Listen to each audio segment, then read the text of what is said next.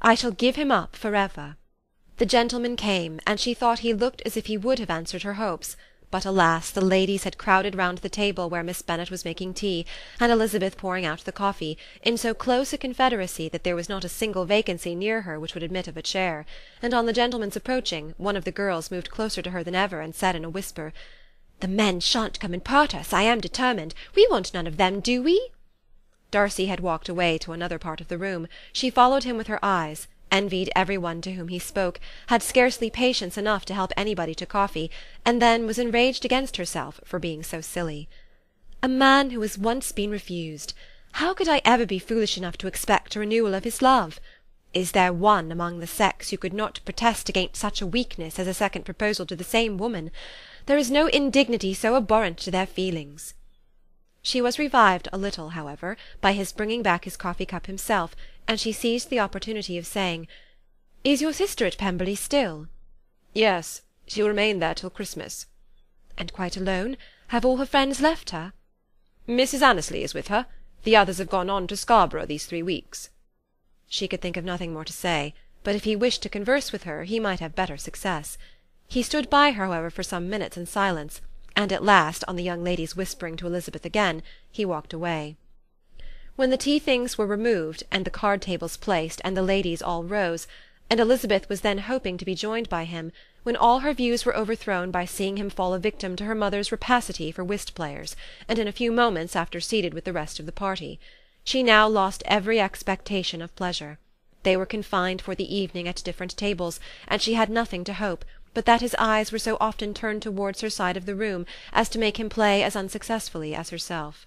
Mrs. Bennet had designed to keep the two Netherfield gentlemen to supper, but their carriage was unluckily ordered before any of the others, and she had no opportunity of detaining them. "Well, girls," said she as soon as they were left to themselves, "what say you to the day? I think everything has passed off uncommonly well, I assure you. The dinner was as well dressed as any I ever saw, the venison was roasting to a turn, and everybody said they never saw so fat a haunch. The soup was fifty times better than what we had at the Lucases last week, and even Mr. Darcy acknowledged that the partridges were remarkably well done, and I suppose he has two or three French cooks at least.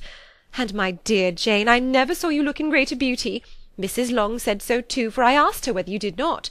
And what do you think she said besides? Ah, Mrs. Bennet, we shall have her at Netherfield at last. She did indeed. I do think Mrs. Long is as good a creature as ever lived, and her nieces are very pretty behaved girls, and not at all handsome. I like them prodigiously. Mrs. Bennet, in short, was in very great spirits.